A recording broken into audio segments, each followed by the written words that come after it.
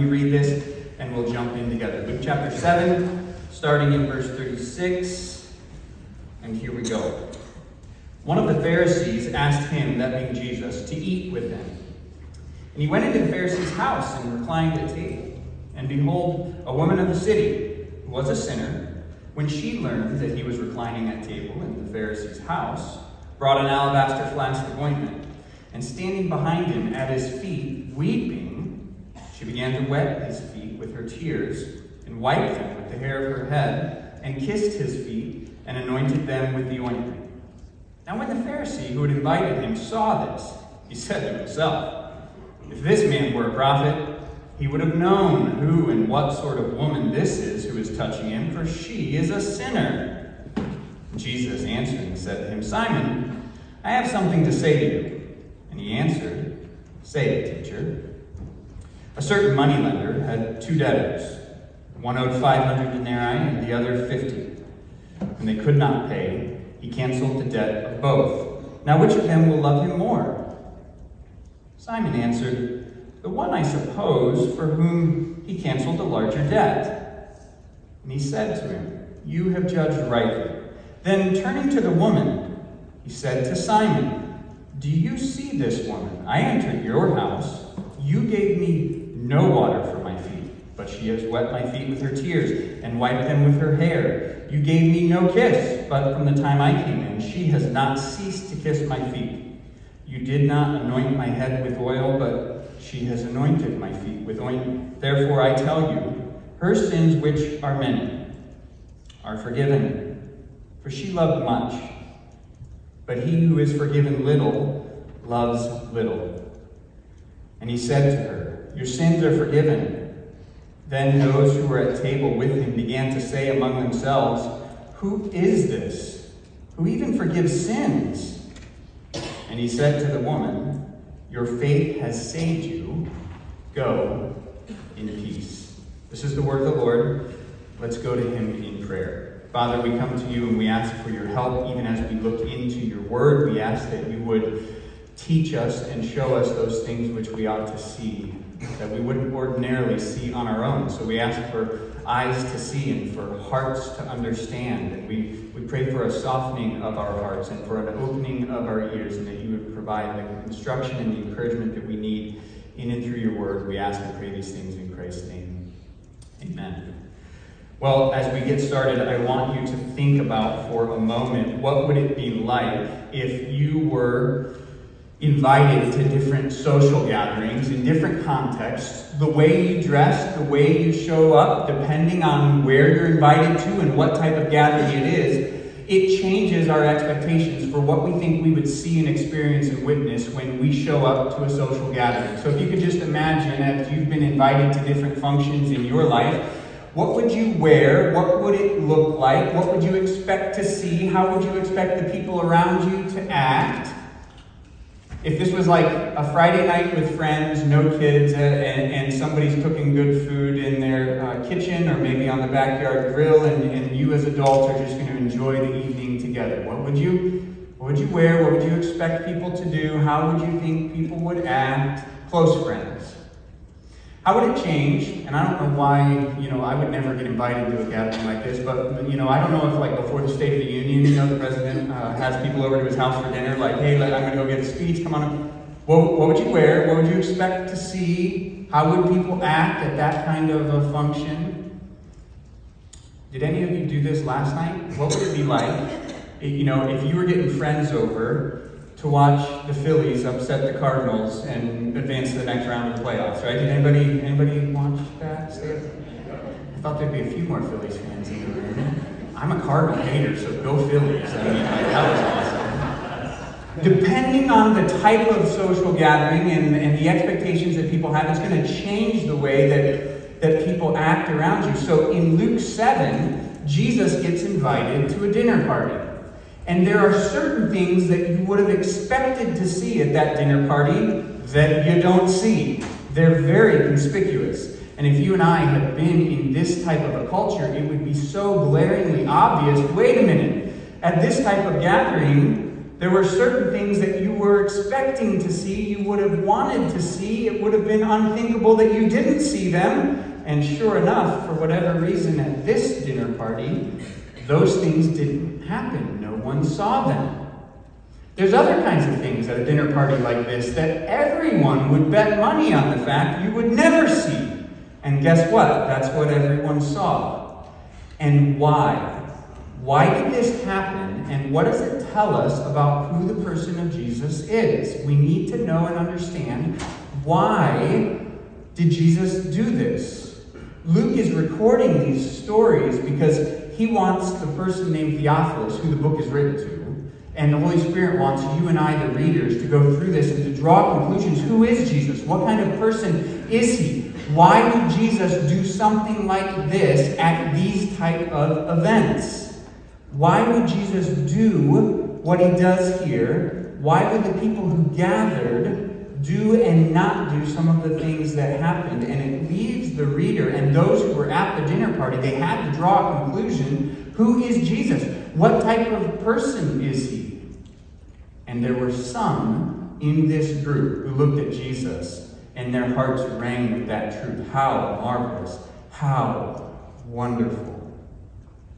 And there were others in the group whose hearts were so hardened that their hearts did not ring with the truth of who Jesus is. And Luke intends for you and I to come to the conclusion where do we think? Where do we fit in? Which one of the two are we? So let's go through the story, and I want you to see exactly the picture that Luke paints through what Jesus does here at this dinner party. Look in Luke chapter 7, and I'm going to start in verse 36 and let's walk through it so you can understand what happens at this dinner party. One of the Pharisees asked him, that's Jesus, to eat with him, and he went into the Pharisee's house and he reclined at the table. And behold, a woman of the city who was a sinner, when she learned that he was reclining at table in the Pharisee's house, brought an alabaster flask of ointment. And standing behind him at his feet, weeping, she began to wet his feet with her tears and wiped them with the hair of her head, and kissed his feet, and anointed them with the ointment.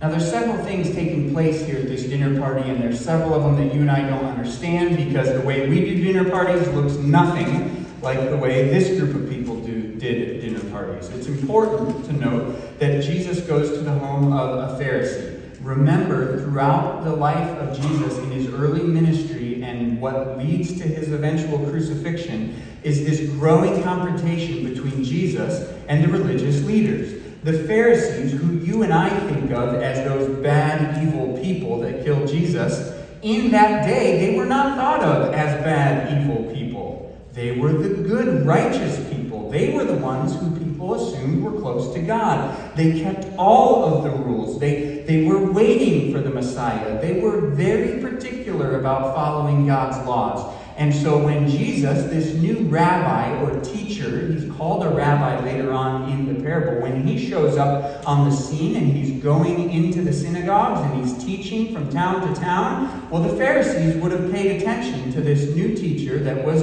making waves as people began to follow and as Jesus' reputation begins to grow. The Pharisees would have wanted to know who is Jesus because we're not sure we like him because he seems to poke at us he seems to expose the, the, our hearts because the religious leaders, the Pharisees, thought they were the best at following Jesus. They thought they were pure. They thought they were good before God. And Jesus comes along and he begins to expose your hearts aren't as pure as you think they are. So there's this growing clash between Jesus and the Pharisees. The other thing you need to know that's happening by this point in the gospel Jesus' reputation is growing, it's widening, his influence is growing. All of Luke chapter 7, Luke is recording things that are answering this question who is Jesus? Because Luke wants the reader to come to that conclusion about who Jesus is. So, Jesus is performing miracles throughout Luke chapter 7. John the Baptist is actually asking this question Who is Jesus? He sends messengers and says, Are you the one we're supposed to be waiting for? And as Jesus answers that question, one of the things you see in verse 34 of chapter 7, Jesus notes that his reputation is such that people are paying attention to the fact that he's a friend of sinners. And that's not what good people thought good people did. The Pharisees, the best of the best, the righteous, assumed that whenever the Messiah showed up, he wouldn't be a friend of sinners, because the Pharisees weren't friends of sinners. The Pharisees loved following and honoring God's laws, and here comes Jesus, who seems to be shaking things up. He's continuing to grow his influence in ministry, and so the Pharisees invite Jesus, the Pharisee's particularly name is Simon, we're going to learn. They have him over for a meal. Whether or not this happens after teaching in the synagogue, we're not sure of the occasion and why the people come in. But what would happen at an event like this? We're told that not only are the dinner guests there, but there's a woman of the city who's there and we're told that she's a from the city, and we're told that she is a sinner. Now, very likely, what's taking place is Luke, in a very delicate way, is telling us that she's a very publicly known sinner in the city, and whatever it was that led to her sins, everyone knew her reputation in the city. Very likely, she was an immoral woman, and that was her profession, how she made her living, and now she's here at this dinner. Now, you and I would look at that and say, wait a minute, what's going on? Why are there dinner guests? And why is this woman of the city there? Well, one thing that's different for you and I as compared to then, the, the public entertainment of a dinner party was exactly that. It was a public entertaining thing. What would happen as, as the host, Simon being the host, would invite guests into his home, and the front door would remain open. Anybody that wanted to come off the street could come into whether this was happening in a courtyard or what it might be, and there would be a long, either a low table or more often the, the bowls would just be set down on the middle of the floor, and the dinner guests would come and they would recline at the table. They would lay on their left side facing the table with their feet extended out away from the table, and that's how they would partake of their meal. And it was sort of a who's who event in terms of who got invited and why they were there and what they were talking about. So, as the prominent guests are reclining at the table, the people from the city would just come in and watch and they would observe and they would know what was taking place. So, you and I think it's strange that this woman shows up. They would not have thought it strange that there was public gathering where people were watching. It would be unusual, however, that someone of this reputation would show up. And then she would show up to watch when everybody says, wait a minute, these are the religious people, and this is a religious teacher. And she's here. That would be unusual. The other thing that's very unusual, you know how when you show up at someone's house, even in our culture today, there's a certain ritual that takes place when you ring the doorbell or you knock on the door and you were told to show up for a 7 o'clock dinner or whatever it might be, and you ring the doorbell and your host there's these things that we go through, right? It's expected that the host will answer the door and be the one that will let you in, and, and the, your coats are taken and they're prepared in a place. Uh, uh, that was my job as a kid, run the coats upstairs to mom and dad's bed. Like, that's where all the coats went, the mound of coats. And, and there'd be some greeting, maybe a handshake or a hug or this kind of thing. One of the things that's pretty cool here on the East Coast, there's like often, not always, but sometimes there's like a gift that the person showing up brings to the host, and like that, that doesn't happen in other places around the country, but good on you for doing that kind of stuff. It's pretty fun to see. And uh, if, if that stuff is, if all of it is, not every single aspect of it is expected every single time, but if, if in its entirety, every single aspect of the, those greetings was left off, it would be strange. Like if you ring the doorbell and nobody lets you in, and the host never says hi, and there's six places seated at the table, and yours isn't one of them, and the host is like scrambling to set up an extra chair on the card table for the side, you would feel awkward and out of place, right? That's what's going on here. Because of living in the society that they were, with the dirt roads, the animals walking down the roads, people's feet were filthy and dirty, and foot washing was a very normal, ordinary, customary thing. Often the host certainly would not be the one to wash the feet. That would be something that a servant would do, or at minimum, depending on the stature of the person who was invited to the meal, uh, there would at least be bowls of water where you could wash your own feet. None of that is provided for Jesus. We're not told whether or not it was provided for the rest of the guests. In our culture, there might be a handshake or a hug. Not so in their culture. There would be kisses of greetings. That doesn't happen here. And, and so you see things taking place. There would often also be an anointing with oil, where the head would be placed with a drop of oil. There would be this anointing that was very common and customary, and uh, that doesn't happen for Jesus either. Well, this woman of ill reputation shows up. And she is so overcome in the moment with her love for Jesus. And whether or not she catches the slight towards Jesus, there's no indication in the text that she's trying to rectify a wrong. It could simply be her love for Jesus. She, knowing that this hasn't happened for Jesus, she's going to show her love to him. Well, how is she going to do this, right? She's, she's a bystander, and there's a meal going on and Jesus' feet are outstretched, and especially with her character, at this point, to walk up in the middle of a meal and to kiss Jesus on the head or something like this, well, that would be kind of awkward, but she could at least kind of get close to his feet if they're outstretched. And she cries not just a little, like, don't think of this as a sentimental moment where there's a tear running down her cheek, you know, and uh, that's not what's taking place. She's crying so much that she is there's enough tears to wash Jesus' feet.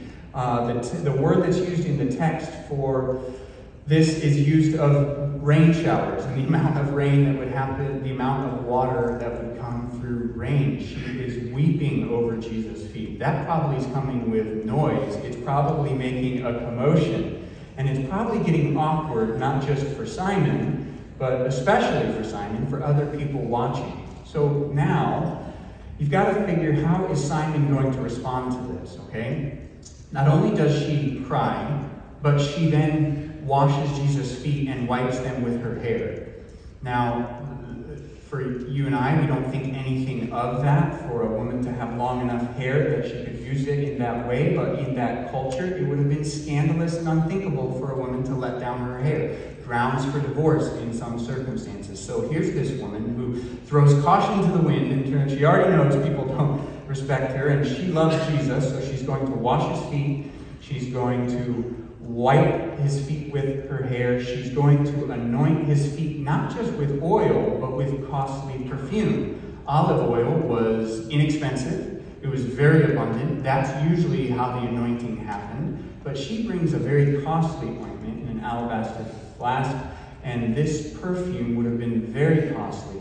And she kisses Jesus' feet and she anoints them with this ointment. So, How's the host going to respond to this, right? If you're a host and you forget to do something and you notice one of your other guests does it for this person who shows up, like, you know, most of us, if we're humble or if we recognize the awkwardness of the moment, we might uh, humbly try to thank our guest for providing what we lacked in that moment. That's not the way Simon responds. He doesn't try to save face and say thanks to this woman for honoring his guests. You notice what he does? he has this arrogant, judgmental, critical, cynical response where he just responds in his heart. And this is what he says in verse 39. Now, when the Pharisee who had invited him saw this, he said to himself, If this man were a prophet, he would have known who and what sort of woman this is who is touching him, for she is a sinner. Simon takes note of everything. He says, Wait a minute. I got it. Dead to rights. This guy who's coming in and he's shaking things up, he's not a prophet. He doesn't know things. There's two judgments that Simon's making here. Number one, he's saying Jesus is not a prophet. Number two, he's saying good people don't hang out with bad people. That's the two judgments Simon is making. He's saying Jesus can't be a prophet because if he were, he would know the evil heart of this woman. Secondly, all of us good people know you don't hang out with bad people like this. Jesus would probably rebuke her. If Jesus really were a prophet, he would call into judgment her sinful lifestyle. He wouldn't let her touch her. He wouldn't let her make a public fool of herself in front of everyone. And, John, and Simon thinks, aha, in his arrogance, in his hard-heartedness, there's no way he's a prophet. Now, Jesus is going to respond, and he's going to respond to both accusations in a way that exposes the truth of the situation. Jesus is going to say, I do know heart, Simon. I know yours and the woman's, and I am a prophet. And here's how Jesus responds. Notice it then in verse 40. Um, Jesus answering him said to him, Now remember, Simon didn't ask a question. He said it in his heart, and yet Luke tells us Jesus is going to answer the thoughts of his heart. And he says this Simon, I have something to say to you. And he answered, Say it, teacher. Jesus is not asking for permission to speak. In the culture, this would have been a blunt way of saying, I have a blunt message, and you're going to listen to it. That's what Jesus is saying. I got something to say to you.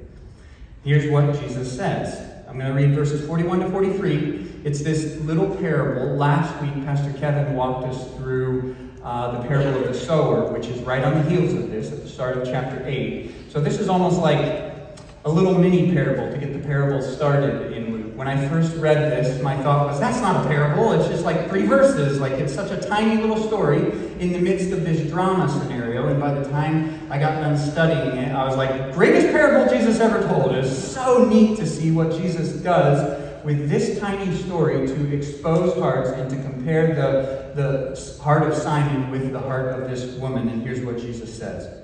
A certain moneylender had two debtors, one owed 500 denarii and the other 50. When they could not pay, he canceled the debt of both. Sheer grace. There's nothing on the part of either debtor that was grounds for the moneylender canceling the debts. Two different sides of debts, and neither one could pay, and just out of an act of kindness and grace, both debts are forgiven. Now, which of them will love him more? Jesus is drawing the conclusion, and it would be a correct assumption that's what's going to happen in this scenario is out of love, there's going to be this gratitude shown for this kindness of canceling the debt. Which one will love more? Now, Simon has to answer carefully whether or not he understands where Jesus is going, or if he's just being diplomatic, but he chooses his words carefully and he says, The one, I suppose, for whom he canceled the larger debt. He said to him, You have judged rightly. This is Jesus' point. There's two debtors, ten times the size of a debt. A denarii was a common day's wage for the average worker or for a soldier. So if you were to take 50 days' wages versus 500, what you're dealing with is something like two months of wages as compared to more than a year and a half, not quite two years of wages.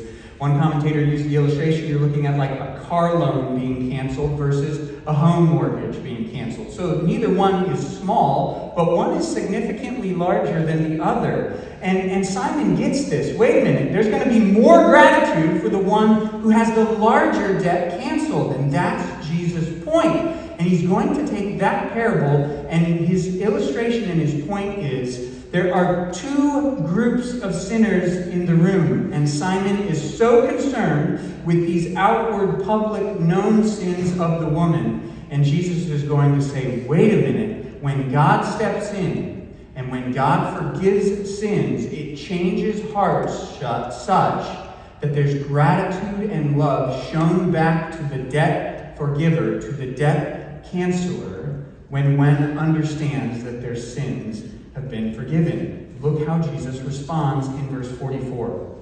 Then turning to the woman, he said to Simon, Do you see this woman? Notice what Jesus says, all right? So you've got Simon and you've got the woman, right? And Jesus turns to the woman and he says to Simon, Notice what's happening. He's, he's looking at the woman, he's drawing attention to the woman, but he's calling Simon out and he's speaking directly to Simon. And this is what he says Do you see this woman? I entered your house. You were the host. It was your job to do the things that the host usually does. You gave me no water for my feet, but she has wet my feet with her tears and wiped them with her hair. You gave me no kiss, but from the time I came in, she has not ceased to kiss my feet. You did not anoint my head with oil, but she has anointed my feet with ointment. Notice what Jesus is doing. Jesus is calling out the host. This is awkward. Put yourself in that situation. What happens every time you are wrapping up a dinner party, right? If you're the host, or, or if you're the guest, right? You're a guest in someone's home. They've just shown you hospitality. maybe they got a couple things wrong, right? Maybe the chicken was a little overdone and a little dry, but what do you say? Thank you so much. That was delicious. That was the best chicken I've ever had. You've got to send me your recipe, right? That's your obligation, right? You've got to work overtime to make sure the host knows I wasn't worthy of your hospitality. Like you just showered kindness on me. That's that's the exchange. That's what we feel like, right? Jesus doesn't do any of that. This is like mic drop moment, okay? Burn, as the kids say, okay? Uh, Jesus is the guest, and he's like, listen, Simon, you're the host. You want to talk to me about, about how you think my heart's in the wrong place and how I don't know this woman? It was your job to give me a greeting. Nothing. There was no kiss. And she, Jesus is being really careful here. Even in exposing Simon, Jesus is not being arrogant, he's not being haughty, he's not being presumptuous. Notice what he says in the text. He doesn't say, You didn't wash my feet. It wouldn't have been the host's job to do that. He just says, You didn't provide water. Jesus assumes he could have washed his own feet or that a servant could have done this. And he also says, You gave me no kiss. Now, there would have been a, uh, a social pecking order for how the kiss would have been delivered in a greeting. If, if they were peers, it could have been uh, a kiss on the cheek, or if you particularly wanted to honor someone, the host could kiss the forehead. In a rabbi, in a teacher setting, the young men of the house would have been expe- expected to not kiss on the cheek, but to gather around the rabbi and to kiss on the hand. Uh, it would have been showing honor to someone who was greater. Jesus doesn't say, You didn't kiss my hand, though he, right, he rightly could have called Simon out for that. He just simply says, there was no kiss of greeting, right? And this woman does that. She washes my feet with her tears. It wasn't that, that Jesus' head wasn't anointed with inexpensive olive oil. No, this woman anoints his feet with the costly perfume for which there would have been no precedent. And Jesus says, This woman does something you didn't even come close to. And notice how highly exalted the place of the woman is here in this account in Luke and in several places throughout the gospel. You would have expected in a society that was dominated by men, certainly Simon had the reputation of being righteous. He had the reputation of being a leader in the community, and Jesus exposes him as a fraud. And the woman who had the reputation of being a sinner and a fraud, well, Jesus highly lifts her up. He says, Look what she's done. And Jesus says, Do you get it?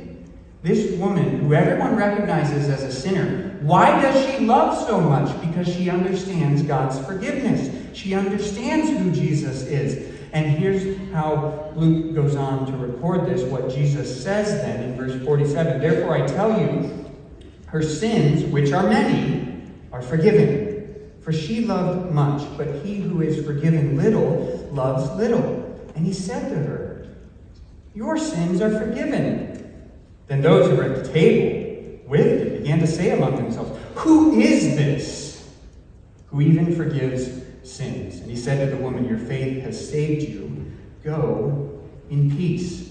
Jesus is going to make crystal clear this woman's love is a demonstration of the forgiveness that she's received. That's why she says, How marvelous, how wonderful. And she says it with her tears, she says it with her kisses, she says it with the anointing of Jesus' feet. Notice what's happening here. I want you to catch this. Notice it is not her actions that produce the forgiveness that Jesus grants. Her actions are the result of her forgiveness. Look in verse 50. What Jesus says in verse 50, he says to the woman, Your faith has saved you. Go in peace. Her faith is what made her righteous. Her faith in who Jesus was. So, this very likely is not the first meeting between Jesus and the woman. She perhaps has heard his teaching from afar. Perhaps she has already understood forgiveness. She has already turned from her ways, and though the people don't know that, she is still seen as a sinner in the community. And now this woman comes here because she hears that Jesus is at the table. And she wants to show her love. She wants to express her love. She, the actions, her actions are not the reason for her forgiveness, but it's the result of her sins being forgiven. There's a man named Darrell Bock. He illustrates this principle by saying you can take the statement, it's raining because the windows are wet. That statement does not mean that the water on the windows is the cause of the water on the windows is evidence of the presence of rain. This woman loves much because she's been forgiven much. It's not her actions of love that produce her forgiveness, it's her faith. And then Jesus also helps Simon see listen, the one who's been forgiven much will love much, and the one who's been forgiven little will love little. Now, there's a couple ways to take that statement as, as Jesus is just drilling this home to Simon, and you've got to ask this question and saying, okay, there's two ways to look at this. Is Jesus saying, Simon, you're a good guy, you're righteous, you've sinned little, therefore you don't have much love to show? I don't think that's the best way to understand this. Uh, I think the real way to look at this is Jesus has just pointed out Simon is a sinful guy.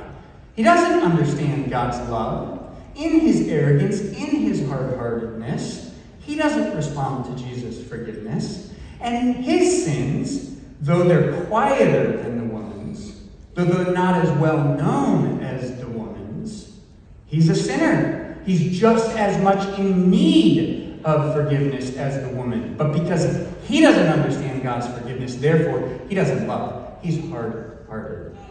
Right. Now, think then also about the way, the last thing we need to see is the way people respond. What happens? People are around the table and they're saying, Whoa, who is Jesus? He just claimed to forgive sins. That hugely elevates the status of who Jesus is. He's not just an influential teacher, only God can forgive sins. And now Jesus says there's two things that we learn about Jesus in this passage, and I want you to get this, all right? Who is Jesus? He knows hearts, and he can forgive sins. Do you get that this morning? Do you know that God, in the person of Jesus Christ, God knows your hearts? He knows the standing of your hearts. He knows the thoughts that you have had already this morning. He knows the thoughts that you have had during this message. He knows the words that were spoken before you came to service this morning. He knows all of my actions this week. He knows all of your actions this week. And for you and I, apart from Jesus Christ, that leaves us in a position of condemned, judged. We can't measure up to a righteous and holy God. And yet, because God knows hearts and He wants a right relationship with us, that's why Jesus came. Amen. Jesus came as God's Son. And you're going to see the end of this confrontation between Jesus and the Pharisees, where Jesus is crucified on a cross, a righteous man dying in the sinner's place, so that Christ's death on the cross serves as a substitution, as payment for the sins that you and I, for the punishment of sins that you and I rightly deserve. And Jesus didn't stay dead, he rose again. Jesus is alive. It's what we celebrate at Easter.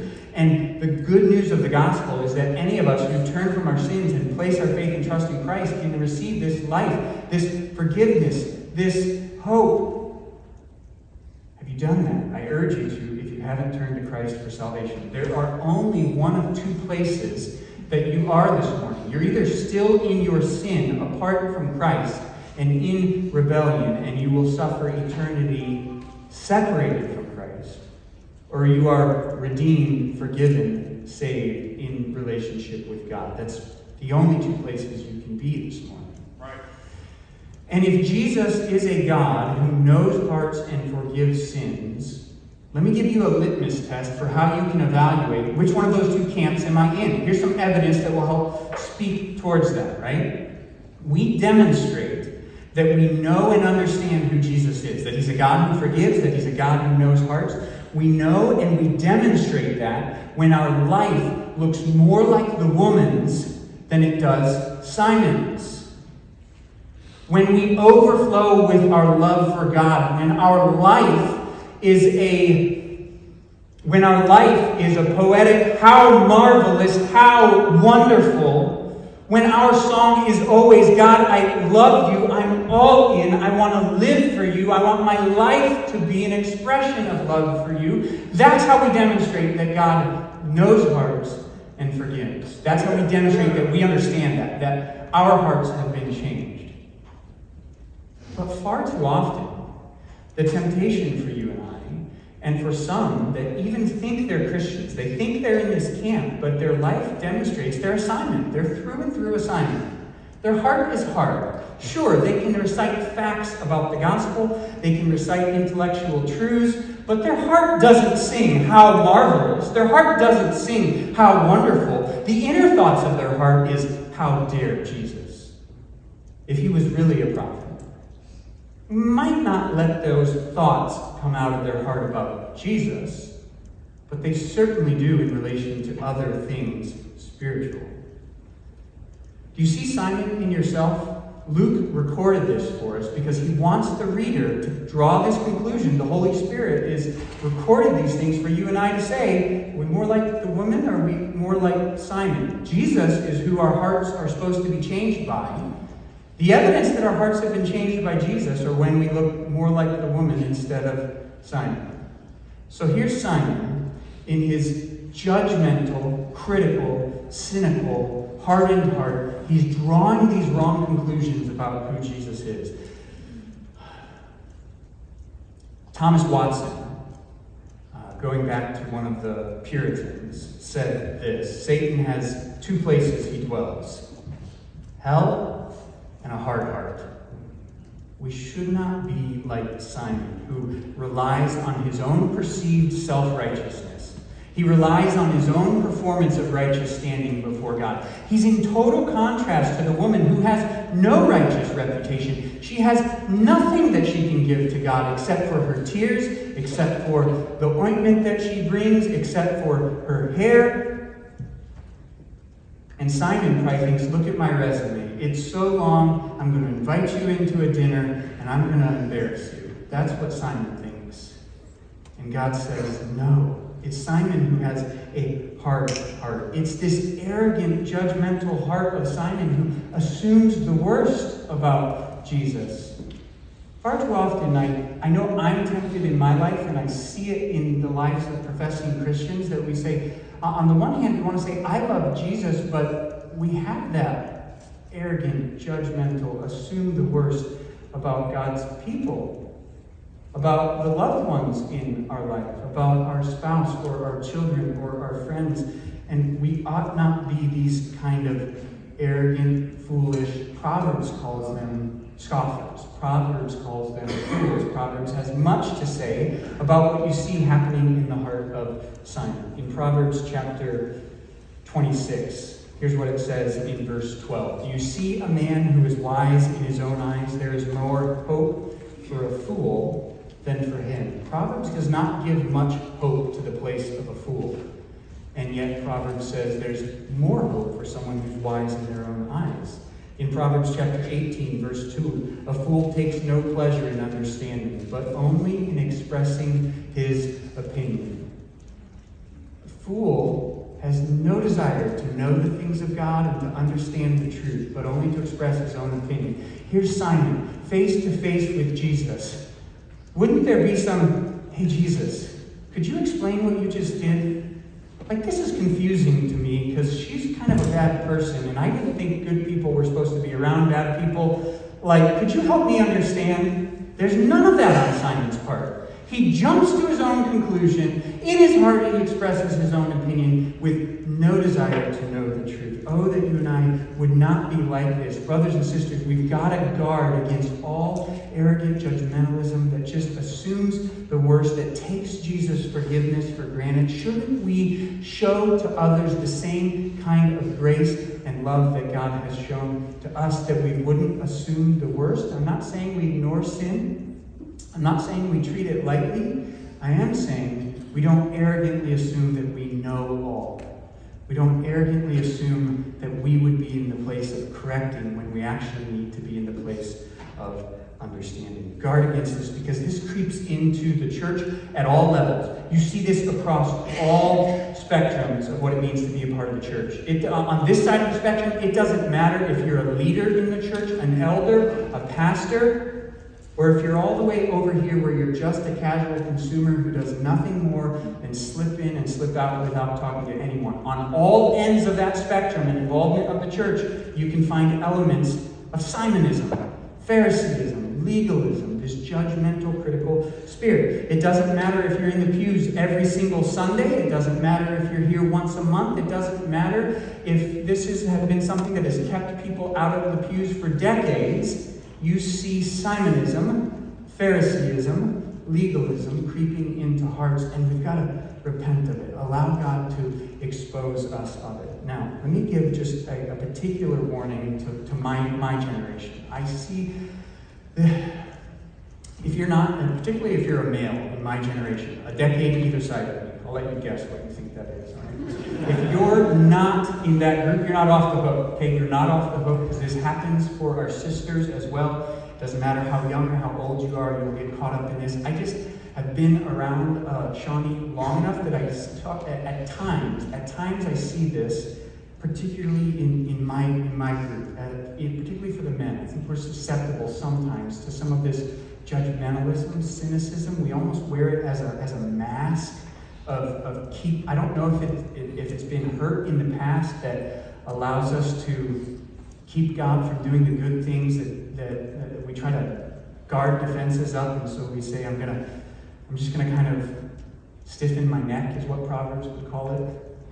I'm gonna put up a mask that, that doesn't let God work. Not that God's powerless to our work, but I think you know what I mean in terms of our part in the process. Let, let me just plead with you, don't, don't do that. Like, don't do that. Um, be tender. Uh, let God let God work. Um, don't don't jump to arrogant conclusions. Um, and if you're wondering, is that me? Am I there? Um, the cool thing for you in, in what I'm describing of this arrogant judgmentalism that Proverbs talks about as, as scoffing, scoffers won't listen. Uh, so if, if you're the worst of the worst that I've described this morning, you haven't heard what I've said. You've probably been, been mocking it. Um, and so I say it somewhat for the benefit of those who are listening, just to be able to judge. We, we need to be able to discern people's hearts to, okay, are we dealing with a Simon here, are we dealing with a loving woman? But if, if, if your heart is still sensitive enough that you've heard and you think there's conviction, well, like, praise God. Only God can do that. You're not, you're not yet the hardened fool um, ask, repent, like ask God, God, I, I, I want to say how marvelous, I want to say how wonderful, I want to be so in love with you that I look at what Jesus has done and the things he's forgiven me of, and I would say, yes, God, make me loving. God, make me as forgiving to others as you have been to me. Look at the woman in this passage. She loves, and it's born out of forgiveness. She's all in. She's completely devoted. She says, Yeah, I'm the worst of the worst, but this guy is the best of the best, and I love. I love. And I show that love to others. That's what should happen in our hearts. This is Paul's argument in Romans 5, 6, and 7, right? That where sin abounds, grace abounds all the more. If you haven't yet dealt with your own, I'm, speaking to professing Christians, right? You haven't fully understood your sin and the grace that God provides through the person of Jesus Christ to realize this forgiveness and to revel in it and to grow in your love of God. Well, you're in danger of letting the heart get hard.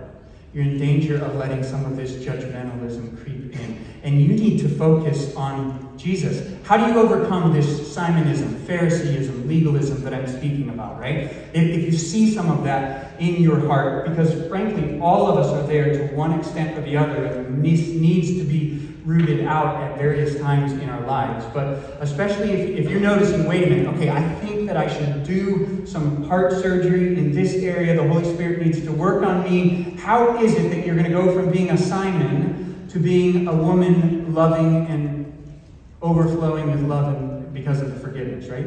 You won't do it by focusing on not being a Simon, right? If you don't want to be Simon, don't try extra hard not to be Simon, right? Sometimes people that are so concerned with Phariseeism, legalism, judgmentalism at times, if you focus on just not doing that, you might actually end up becoming more judgmental, right? What has to happen? The focus has to be on Jesus, right? not on trying to not be a Simon. The focus has to be on who is Jesus, right? What has he done? What does the woman do? She could care less about all the judgmental Pharisaical people in the room. She falls at Jesus' feet and says, This is where God, Spirit, resides. This is where true love comes from. This is where forgiveness is flowing from. If you want to be like the woman, focus on Jesus. Don't focus on not trying to be Simon. Look at Jesus and just say, read books on the gospel. Focus on Romans. Go through the gospel and the account of what Jesus has done for you. That's why we're going to walk through the parables. The, the, the parables. We want you to see who Jesus is and just be able to say, wow, that's his love. That's his grace. That's his forgiveness. I want to grow it. I want to know more of it. I want to be able to say how marvelous, how wonderful is my Savior's love for me. I once was an enemy, but now I'm seated at the table. And our hearts just say, Jesus, thank you. Jesus, thank you. That's what we're going to sing together. Father, we come to you. We want to see more of Jesus. We want to know more of what Jesus has done for us in the gospel and the love and the forgiveness that he's shown to us. Help us to realize the magnitude of the debt that's been forgiven on our behalf and that our hearts would overflow with that love. Father, I pray that, that you would be with those in the room this morning that are responding to that question of who is Jesus. If there are those who are not saved, they're not Christians, they've never turned from their sin and placed their trust in Christ, would they do that even now? That in their hearts they would say, God, I'm a sinner and I want to stop and I, I trust in what Christ has done for me on the cross. I, I believe in Christ's death on my behalf, his burial, his resurrection. I want to follow him with all of my days. Would they cry out to you for salvation, Father? For those of us that are Christians, I pray that our focus would be so in tune with Jesus that our hearts would look like the woman's and not like Simon's. Do that as we focus on Jesus. We pray in Christ's name. Amen.